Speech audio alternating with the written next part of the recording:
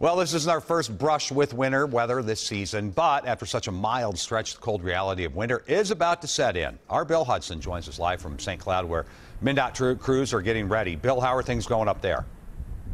Yeah, and that wind that Chris was talking about is really starting to pick up here in the St. Cloud area. I'll try not to tip over, Frank.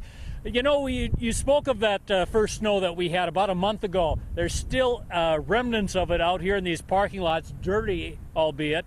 Uh, it's sure to be a little white this morning because as that drizzle starts uh, freezing tonight, it's going to begin piling up.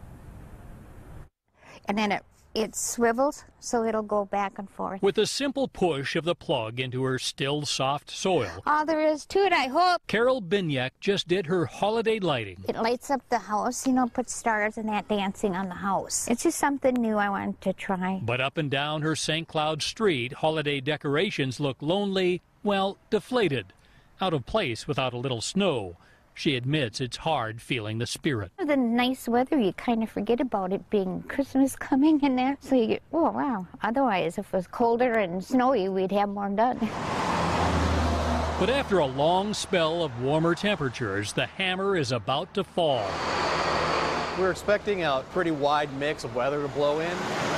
At MnDOT's St. Cloud headquarters, 23 plow trucks and their drivers are ready to roll. As this weather blows in, at some point we are expecting it to turn into pretty slick roads. Um, certainly for tomorrow morning's uh, commute, it'll be that way. As the rain turns to ice and into snow, Xcel Energy says be prepared for scattered power outages, but mostly just slow down, be safe to avoid spoiling the season that's been slow to arrive. They keep saying we're getting about five inches of snow, but we've had more. It's been worse. yeah, it's, it's been a lot worse, but uh, it is a good idea because uh, we don't have those winter driving skills down quite yet to slow down, give those plows plenty of room. They're nothing to mess around with.